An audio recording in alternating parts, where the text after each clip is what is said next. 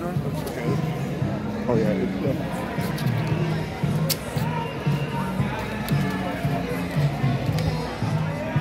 So this is a little baby boy murdered by abortion, legally murdered by abortion in the United States of America, and a little baby girl in the third trimester legally murdered in Texas because of our godless U.S.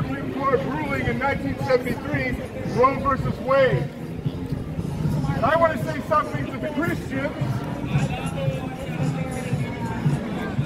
first and foremost to the Christian Americans who can hear my voice.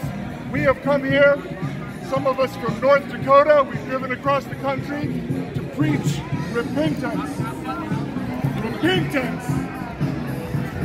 The gospel of repentance.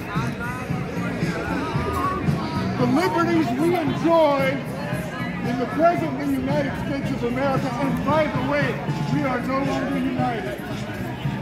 Have you looked around? We are no longer united. So let me say, the formerly, the formerly United States of America, because we are as divided, we are as divided in this country as we have ever been since the days of the war states. Since the days of the so-called American Civil War, we are divided. And the foundation the basis on which we got our rights, our First Amendment rights, our Second Amendment rights, our Bill of Rights, that generation grew from the Great Awakening. The Great Awakening, a time when the people of America humbled themselves before the Creator. I love abortion. I love abortion. I love abortion. I love abortion. I love abortion. I love abortion. I love Millions of abortion. people, thousands, hundreds of thousands of people repent and humble themselves before God. If we do not repent for murdering God's children, there is no hope for America.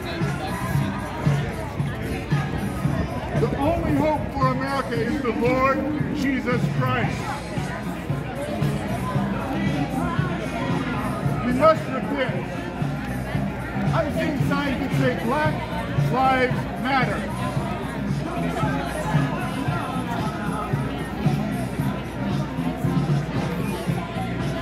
Most, largest ethnicity that is being aborted and has been aborted for decades in this country are black Americans. Murdered at a rate that exceeds every other ethnicity in this country. That is eugenics. Those unborn black lives matter. They matter. They matter. And if we do not repent for what we have done to God's children in this country, the Lord Jesus Christ will continue to allow us to be enslaved to lies. You ever look around you? You see fake news everywhere. You see lies everywhere. How did the lies get so strong? They got so strong I'm telling you because we fed that monster. We fed that beast. That's why it got strong. Because we fed it. By lying that a person is not a person. By lying that an innocent person does not have the right to live and, to, and the right to enjoy the protection that you and I enjoy defending them, we're talking Christians now, we must repent. We should never have obeyed. Is anyone hearing me? We should never have obeyed SCOTUS. We should never have obeyed Roe versus Wade. The day that genocidal judgment came down, 1973, we should have said no. We should have refused. No court has the right to strip people of their inalienable right, the right that comes to God to live. No one has the right to do this, and if we do not repent now, even at this late hour, there is no future for this country except for judgment, judgment, division, more lies, more slavery. I want life. Don't you want life? Life is in the Creator, the Creator of these children. And when we repent for murdering God's children, God will forgive us when we sincerely repent.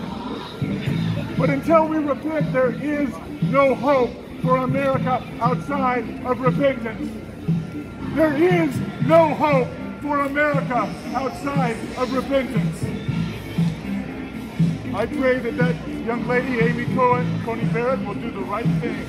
May God give her courage. But we shouldn't have waited all these years. We shouldn't have waited for, for oh, just, justice, so-called injustice, Ruth Bader Ginsburg to grow.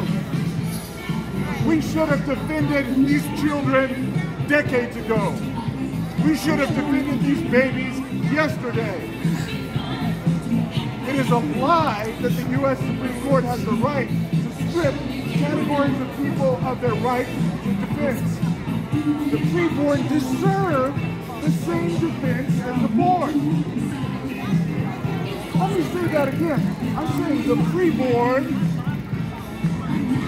including the black preborn, the white preborn, the brown preborn, whatever level, level of melanin, I don't care. The preborn persons, preborn persons deserve the